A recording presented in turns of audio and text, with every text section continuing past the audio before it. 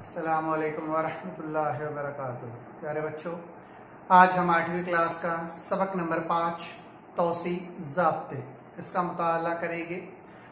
हमें कुछ तोसी के जबते जो प्राइमरी लेवल पर पढ़ाए गए, वो याद हो गए, मैं उनका यादा करा दूँ।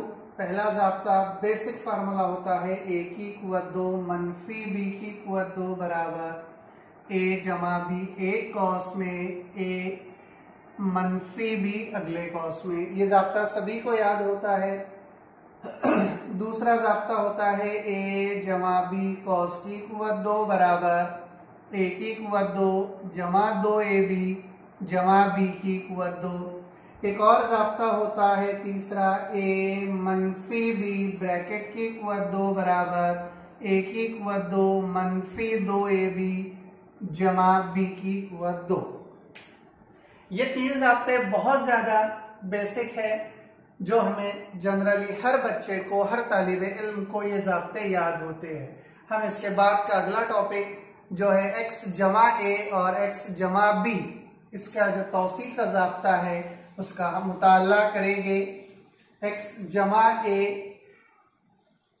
और एक्स जमा बी ये जो जबता है तोसी इसका हम मुताला करने वाले हैं इस लेसन में। बहुत इंपॉर्टेंट है ये।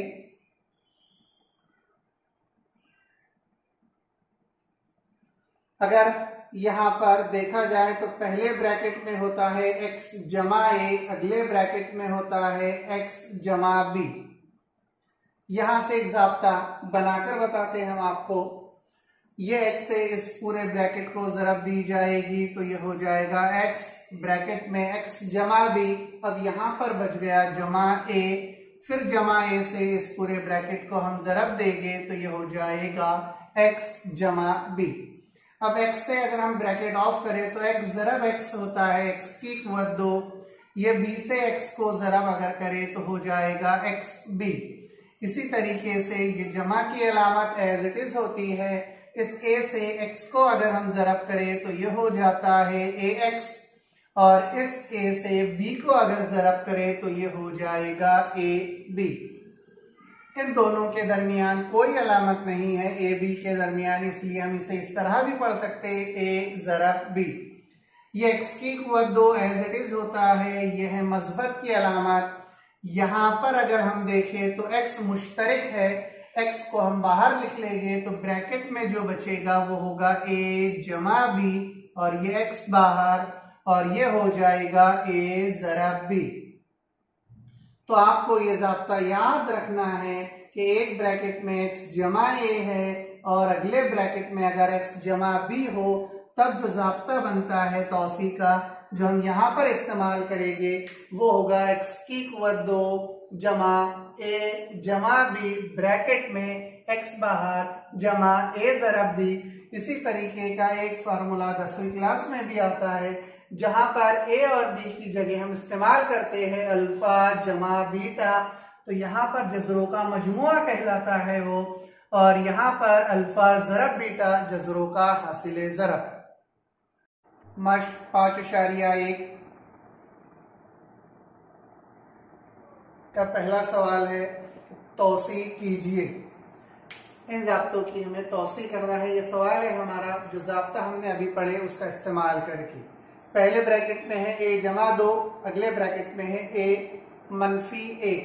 जब्ता अभी आपने पढ़े, कि पहले ब्रैकेट में एक्स जमा ए अगर हो, दूसरे ब्रैकेट में एक्स जमा बी हो तो हम उसे लिख सकते एक्स की कुत दो जमा ए जमा बी एक्स जमा ए ज़रब बी इसी जबते का हमें इस्तेमाल करना है।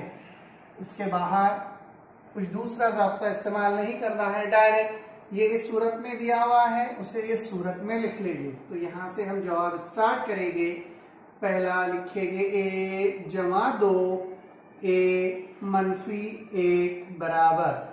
इन दोनों में ये ए मुश्तरक है जो हमारे जबते के हिसाब से एक्स होगा और ये ए होगा, ये बी होगा। तो जबते के हिसाब से पहले आता है एक्स की कुत दो और एक्स की जगह हमारे जबते में इस्तेमाल हुआ, यहाँ पर हमारे सवाल में इस्तेमाल हुआ ए तो ये हो जाएगा ए की कुत दो, फिर जमा की अलामा उसके बाद हमारे पास में लिखा हुआ है ए जमा बी तो यहाँ पर एक ही जगह लिखा हुआ है, दो जाब्ते में जमा है तो हम लिखेंगे जमा।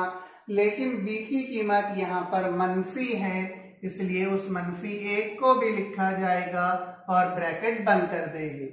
और उसके बाद लिखेंगे एक्स एक्स की जगह हमारे पास में है स्मॉल ए फिर जमा। और तीसरी बार लिखा जाता है जाब्ते में ए जरब बी ए की जगह हमारे पास में है दो जरब बी की कीमत हमारे पास होती है मनफी ए मनफी है, इसलिए ब्रैकेट में लिखा जाएगा। ये ए की कुत दो एज इट इज़ रहेगा, ये जमा, ये हो जाएगा दो जमा, और मनफी की अगर जरब की जाए तो मनफी में तब्दील हो जाएगी, अलामत प्लस माइनस होता है माइनस, एक एज इट इज़ ये स्मॉल ए जैसा का वैसा ये प्लस और ये माइनस, फिर हो जाएगा माइनस, और दो ए का होता है दो।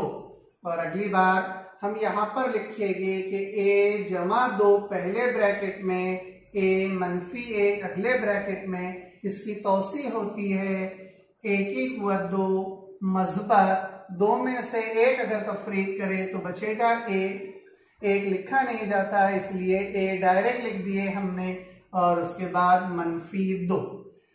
इसी जबते का इस्तेमाल करके हमको तोसी करना है, वरना हम ये ए से इस ब्रैकेट को जरब दे देते थे, दो से इस ब्रैकेट को जरब देकर भी जवाब हासिल कर सकते। लेकिन तोसी के जबते में, इस जबते का इस्तेमाल करके, इस सवाल की हमें तोसी करना थी, जिसका जवाब हमें हासिल हुआ ए की कुत दो जमा ए, मनफी दो। इसके बाद एक और सवाल मैं करा देता हूँ। अगला क्वेश्चन है किताब का पांचवा और मेरा दूसरा क्वेश्चन पहले ब्रैकेट में तीन एक्स जमा चार वाई दूसरे ब्रैकेट में तीन एक्स जमा पाँच वाई इसकी तोसी करेंगे जवाब यहाँ से स्टार्ट करते हैं हम। पहले ब्रैकेट में है तीन एक्स जमा चार वाई और अगले ब्रैकेट में है तीन एक्स जमा पाँच वाई फिर वही जबता इस्तेमाल करना है हमें। पहले ब्रैकेट में ए जमा बी अगले ब्रै, पहले ब्रैकेट में एक्स जमा ए अगले ब्रैकेट में एक्स जमा बी जो बराबर होता है एक्स की कुत दो जमा ब्रैकेट में ए जमा बी एक्स जमा ए जरब बी इस जबते का इस्तेमाल करके इसको हल करना है। यहाँ पर एक्स की जगह इस्तेमाल हो रहा है तीन एक्स ए की जगह इस्तेमाल हो रहा है चार वाई बी की जगह इस्तेमाल हो रहा है पाँच वाई तो पहले आएगा ए की कुत दो तो हो जाएगा तीन एक्स की कुत दो, फिर जमा, अगले ब्रैकेट में आएगा ए जमा बी तो चार वाई जमा पाँच वाई फिर ब्रैकेट के बाहर एक्स जैसा का वैसा रहेगा एक्स की कीमत है तीन एक्स फिर जमा ए की कीमत है चार वाई जरा बी की कीमत है पाँच वाई अब इस ब्रैकेट को ऑफ़ करेंगे तो ये हो जाएगा तीन का मुरबा नौ एक्स का मुरबा एक्स की कुत दो, जमा चार और पाँच होता है नौ वाई जरब तीन एक्स जमा ये चार पंजे होता है, बीस वाई जरब वाई होता है वाई की कुत दो। तो जो सवाल था कि तीन एक्स जमा चार वाई अगले ब्रैकेट में तीन एक्स जमा पाँच वाई इसकी तोसी होगी नौ एक्स की कुत दो, जमा नौ तिया सत्ताईस एक्स वाई जमा बीस वाई की कुत दो। ये इस एक्सरसाइज का दूसरा क्वेश्चन था, एक और क्वेश्चन हम करा देते टोटल एक्सरसाइज में नौ सवाल आता है, जिसमें से तीन मैं कराऊँगा और तीन बाकी के छह होमवर्क होंगे। इस एक्सरसाइज का नौवा सवाल और मेरा तीसरा सवाल, एक बटे वाई जमा चार पहले ब्रैकेट में, एक बटे वाई मनफी नौ दूसरे ब्रैकेट में। इसको तोसी करना है, हल करना है, यहाँ से हम हमारा जवाब शुरू करेंगे। तो पता है आपको, पहले आता है x की कुत दो तो x की जगह हमारे पास लिखा हुआ है एक बटे वाई तो हो जाएगा एक बटे वाई ब्रैकेट की कुत दो। जमा, उसके बाद आता है a जमा b तो a की कीमत है चार, जमा b की कीमत है मनफी नौ। इसलिए बड़ा ब्रैकेट और छोटा ब्रैकेट, दोनों ब्रैकेट हमने इस्तेमाल किए। उसके बाद है x x की वैल्यू है एक बटे वाई इनके दरमियान में कोई अलामत नहीं। इसका मतलब ये है कि इनके दरमियान में ज़रब की अलामत होती है। उसके बाद आता है जमा ए ज़रब भी ए की कीमत होती है चार ज़रब पी की कीमत होती है मनफी नौ। एक का मुरबा एक होता है वाई का मुरबा हो जाएगा वाई की कुत दो, ये होगा मजबर, ये सिंपल ब्रैकेट ये चार, ये प्लस माइनस होता है माइनस नौ एज इट इज़ जरब एक बटे वाई भी जैसा का वैसा, ये जमा, ये है तफरीक, जमा तफरीक बराबर होता है तफरीक, चार नमा होता है छत्तीस।